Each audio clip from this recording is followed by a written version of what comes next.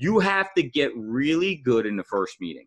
The first Yeah. meeting is everything. It, once you get really good there, you're going to have a lot more success because you're only going to go to the meetings number two where you see there's an opportunity. And it's going to be of a higher closing ratio because you've already qualified them in meeting one and you've laid out the terms that you expect from them.